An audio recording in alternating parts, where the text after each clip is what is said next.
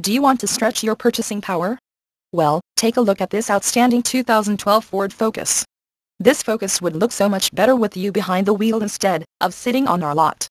And with climate control, automatic transmission, it's bound to sell fast. The airbags and Dolby stereo only makes it more attractive. Low miles means it's fresh and ready to get out there. Come in today and take a look for yourself. Kayser Chrysler Watertown is the dealership for you. Conveniently located in Watertown, Wisconsin off of 105 Highway 16 Frontage Road.